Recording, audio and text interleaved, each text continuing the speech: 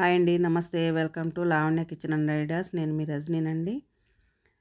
వర్షాకాలం వచ్చింది కదండి. ఇప్పుడు ఈ వర్షాకాలంలో ఒక పక్క వర్షం పడుతుంటే మనకి ఇంట్లో వేడివేడిగా ఏదన్నా తినాలనిపిస్తుంది. అలాంటప్పుడు గుర్తొచ్చేది మిర్చి బజ్జీ.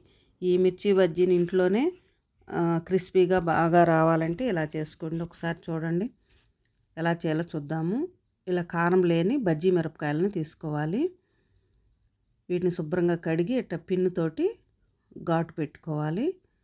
నేనైతే తొమ్మిది కాయలు తీసుకున్నాను.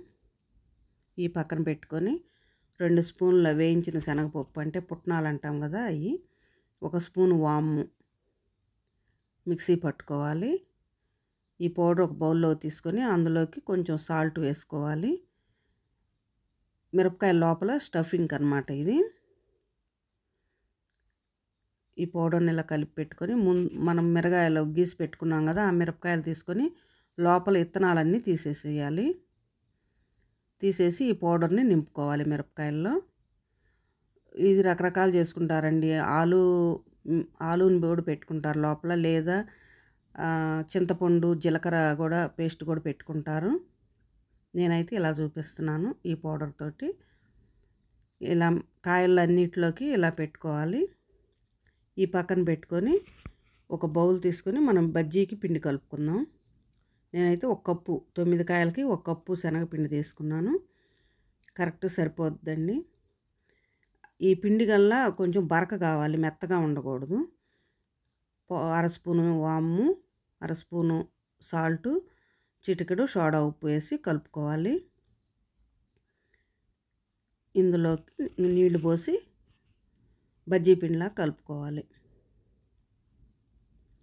మరీ లూజ్గా కలిపితే మిరపకాయకి పిండి అంటుకోదండి. కొంచెం గట్టిగానే ఉండాలి. ఈ పిండి కలుపుకొని ఒక నిమిషం పక్కన పెట్టుకోవాలి. చూడండి ఇలా కలుపుకోవాలి పిండి ఎప్పుడైనా. ఇలా కలుపుకుంటే నీకు బజ్జీ బాగా వచ్చిద్ది. ఇప్పుడు మనం పిండి పిండి పెట్టుకున్న మిరపకాయలు ఉన్నాయి కదా వాము పెట్టుకున్న మిరపకాయలు వీటిని ఇలా మనం ఘాటు పెట్టుకున్న కల్లి పిండి అంటించుకోవాలి. రెండో పక్క ఖాళీగా పెట్టుకోవాలి.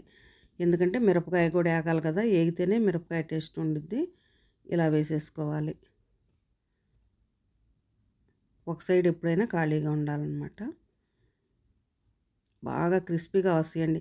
పిండల్లా మీకు పిండల్లా బరకగా ఉండాలండి. మెత్తటి పిండి అయితే రావండి బజ్జీలు. మనకు జంతికలకి చక్రాలకు వాటికైతేనేమో మెత్తటి పిండి కావాలి. బజ్జీలకైతే కొంచెం బరకపిండి కావాలి. చూడండి ఇవి ఒక సైడ్ వేగిన తర్వాత రెండో సైడ్ కూడా తిప్పేసుకొని వేయించుకోవాలి. రెండు పక్కల బాగా కాలిన తర్వాత ఇంకా తీసేసుకోవటమేను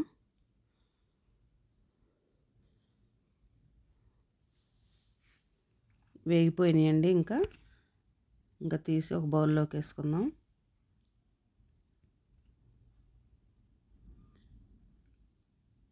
ఇంకా తీసేసుకుందామండి. ఇవి తీసుకున్నాక ఇంకొకసారి వేసుకుందాం. ఇవి తీసి గిన్నెలోకి వేసుకుని ఇప్పుడు రెండోసారి వేద్దాము. బ బజ్జీ ఇష్టపడిన వాళ్ళు ఎవరు ఉండరండి. వేడి వేడి బజ్జీలు. అసలు ఈ వర్షాకాలంలో ఈ బజ్జీలు తింటేనే ఆ ఫీలింగే వేరండి. మేమైతే ఎప్పుడు వర్షం వచ్చినా కంపల్సరీ బజ్జీ చేసుకుంటాం.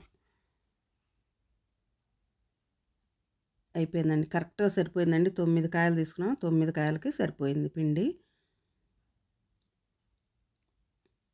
అయిపోయినండి ఇవి కూడా రెండు పక్కల రెండోసారి వేసుకుని కూడా రెండు పక్కల వేయించేసుకుని తీసేసుకోవాలి. రెడీ అయిపోయినాయండి. వేడి వేడి మిర్చి బజ్జీ. మీకు కూడా తినాలనిపిస్తుంది కదా ఇంకెందుకు ఆలస్యం మీరు ట్రై చేయండి. నచ్చితే లైక్ చేయండి సబ్స్క్రైబ్ చేయండి. Thank you.